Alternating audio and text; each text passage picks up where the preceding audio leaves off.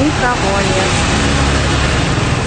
И теперь во всем Нячанге. Туристам сюда въезд запрещен. У Юлии и Дениса туристическая виза на три месяца. С ней во Вьетнаме можно жить и работать. У пары здесь свой бизнес – школа серфинга. Из-за коронавируса отток клиентов начался гораздо раньше, чем закончился сезон. Волны есть до конца марта. Туристы стали исчезать еще в феврале.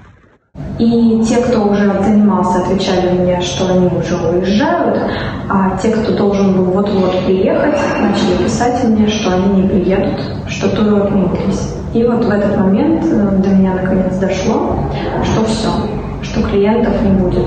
К счастью, до конца сезона оставалось не так много времени. Сейчас супруги приводят в порядок оборудование, восстанавливают доски и костюмы после сезона, занимаются документами и строят планы развития. Работы много, но делать ее можно только дома. Раньше здесь э, велась стройка дороги, но из-за того, что пришел вирус э, с сегодняшнего дня, э, страна на карантине, и поэтому работников распустили. Мы сейчас находимся на домашней самоизоляции. Мы приняли это решение еще до того, как э, во Вьетнам официально строгий. Мы приняли решение, что мы будем лучше сидеть дома, не будем мелькать, не будем лишний раз привлекать к себе внимание, потому что мы прекрасно понимаем вьетнамцев, они напуганы тем, что вирус пришел из Европы.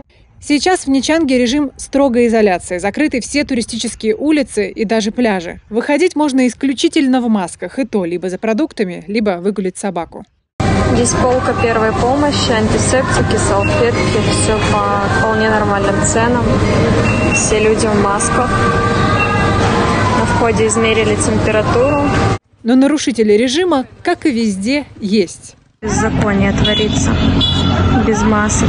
Байки побросали. И тут оздоравливаются. Юлия и Денис переехали жить во Вьетнам полгода назад, и после того, как карантин закончится, уезжать не планируют. Надеются, что к сентябрю, именно тогда вновь появляются волны, все придет в норму. А пока уверены, что Ничанг – это не самое плохое место, где можно переждать пандемию. Дарья Демиллер, День с толком, из дома.